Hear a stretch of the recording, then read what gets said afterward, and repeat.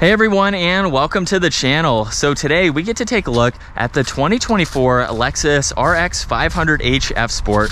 This model's finished off in ultra white and the MSRP is just over $73,000. Now being the F Sport model, this has a lot of goodies that we will go over in today's review.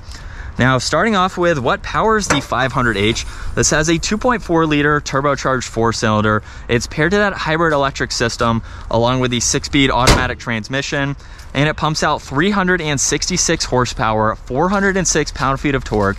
That power sent through the all wheel drive system propelling this 4,700 pound SUV from 0 to 60 in just under 6 seconds. Top speed is 130, and as far as fuel economy goes, you're looking right around 27 miles per gallon in the city and 28 out on the highway.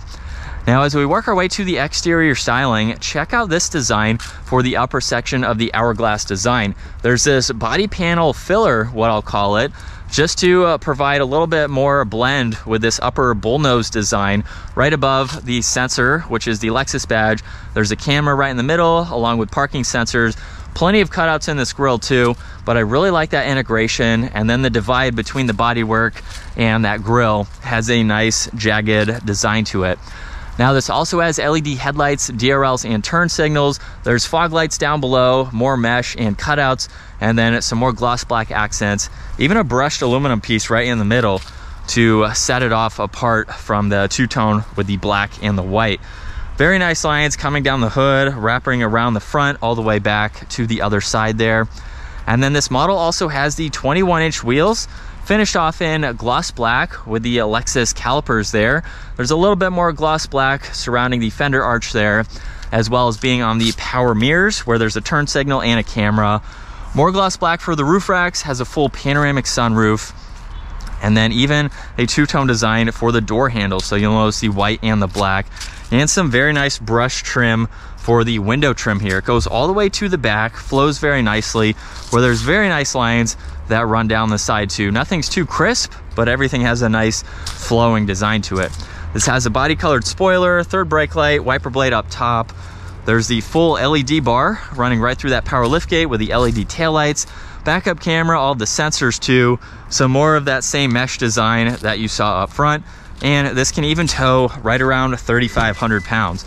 So if you have some small equipment, maybe a bike rack or something like that, you can definitely hook it up to this. Now in the cargo space, this is fairly large. There's also some tie down hooks, the spare tires underneath where you might have a little bit more storage if you fully open this up here. And then there's a three prong, there's some hooks for groceries. You can even fold down the back seats from here. So just push on that button and they will automatically go down. And then there's the cover here too, if you need to use that. So definitely plenty of space for the size of this SUV. And as we work our way to the back seats, just pull on the electronic button on the inside of the door handle to release that door. We also have a manual release from the inside just by pulling this out twice. Just push it in once for that electronic release. There's Alcantara, Mark Levinson audio, all of the leather too. Even the controls to recline the seats and to fold them flat. So you can do that from the second row. Now we have leather and Alcantara, storage pockets, heated and ventilated back seats, climate adjustments with some auxiliaries and the fans. And then for the armrest, you have a little bit of storage on the back section with two cup holders in the front.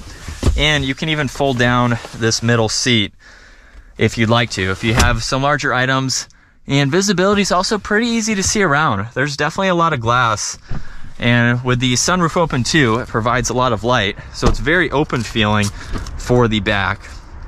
Front door panel is just like the rear. There's all the window controls, side mirror adjustments too. And then the F Sport seats with a little bit more bol uh, bolster support to them. Well, let's fire this up though. We have the uh, solid and perforated leather steering wheel with the F Sport badge down below. This even gets the paddle shifters too. And then let's talk about all of the controls that you can see. There's your lane keeping assist along with your cruise control, but if I hover my finger on these, they will actually pop up on the head-up display. So currently there's following distance along with your driver assistant mode. Then you can also go through a lot more info and that will also appear in the gauge cluster itself. So that way you can view it in full screen, but it will tell you what is being shown on the head-up display as well. And then you can also adjust the head-up display height. So you can raise and lower it. Now on this left side, there's volume, and the rest of these are for your Bluetooth and voice commands along with uh, tuning, and then you have mode and audio that you can scroll through. It's a very easy system to use once you get used to where everything is and how you can read and adjust it. A little bit of storage on the left side, fuel cap and liftgate release. There's memory seating adjustments. You have some odometer settings that you can go into. And then for the size of this infotainment system, you have navigation on this left side along with music. You can get into your phone. You can also go into your vehicle, go through the different driving modes. You have seat controls that you can go into to fold down the seats. There's trip information, energy flow. You can monitor all of that. And then you can also set up everything the way that you would like to with all this general information. Now underneath that, still within the screen, we have the heated and ventilated seats, heated steering wheel control. You can quickly get into the climates along with all of this information here. You have your frequently used, convenience, drive modes, so you can quickly go through all of this. You can adjust your front and rear climates. And then you also have the fan speed, temperature dials are within the screen here. And then we have power and volume for the radio and some defrosters too. Now this also has parallel parking assist, so you can use that when it is needed. And then you also have the view button, which is not new from Lexus, but it gives you another uh, surround view to make sure that there's nothing around you when you are ready to start driving. Now there's air vents in the middle, some auxiliaries, wireless charging with a lot of space down below and some more auxiliaries. You can hide that away as needed. A little bit of space to above that. Now there's two cup holders. If I push on this, it will actually raise one of these cup holders. So you can actually push it down for a larger drink or bring it back up for a shorter one, of course. Let's put this into reverse now. There's the backup camera with the guidelines, drive is in the opposite direction, and then the manual setting is straight back. So you can use those paddles. And then park is located just behind the shifter. There's traction control, auto hold with the e-brake, even a Christmas tree and some rough terrain there. So you can take this off the pavement. Now the glove box or the armrest actually opens up two different ways. You have a little bit of storage down below and then of course the glove box where you have even more items. Now this also has the digital rear view camera, which is nice to see. We have a sunglass holder and then all the controls for dome lights and that sunroof itself and the sunshade.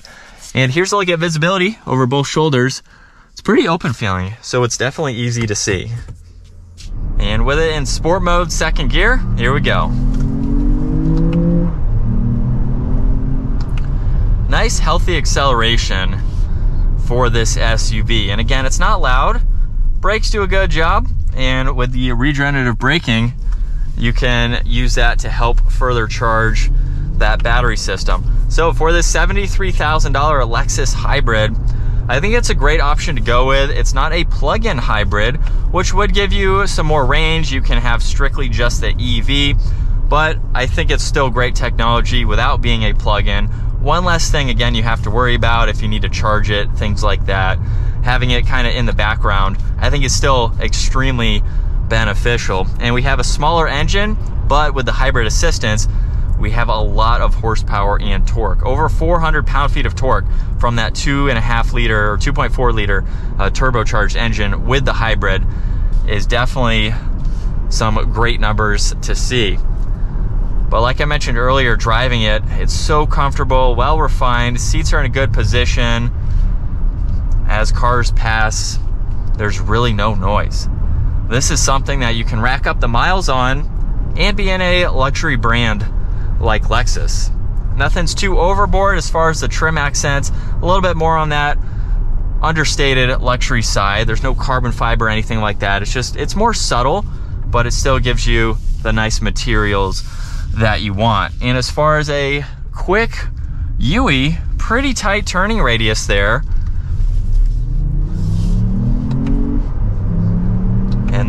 Back up to speed, just like that. Camera system is going to be very helpful too, so I like the tech that's offered.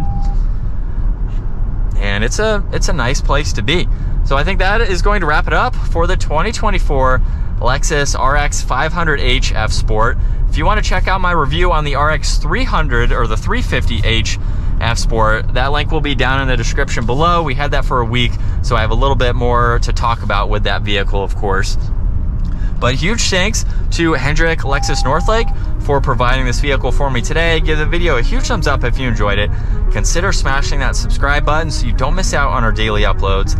And I will see you all in the next video.